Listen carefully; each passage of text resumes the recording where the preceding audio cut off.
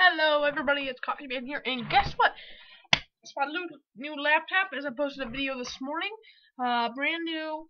It's an Asus uh, with Intel Celeron, and to prove that it's Windows 8, watch this, I'm going to hit the Windows button.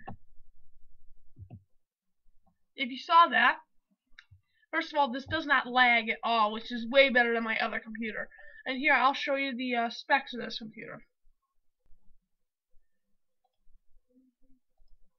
Give me a minute.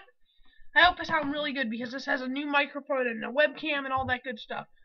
Uh, system. Yeah, look at this. It's all brand new.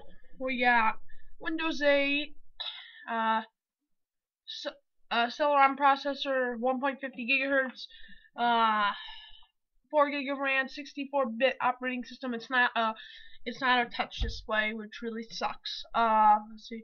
You know, then there's that. Um, yeah. And I've got all my, yeah, what I have? I have Farming Simulator, which I need, and Bandicam, which I'm using right now because you can see that. So, uh, yeah, and uh, another thing is that there's that, and it has Bluetooth, which is awesome, which I have hooked up to my iPhone. Then Intel HD graphics, Realtek, which is the same thing as my other one, Steam, uh, Sports Quick Charge, which I can plug in my iPad to the my iPhone to this, and it'll charge. If I didn't tell you, I got an iPhone 5s. It's awesome. Uh, except for the fingerprint thing, you have to put it in the exact location you did last time. But I'm hooked up to Wi-Fi, everything, and look at this. Come on. See, that's real.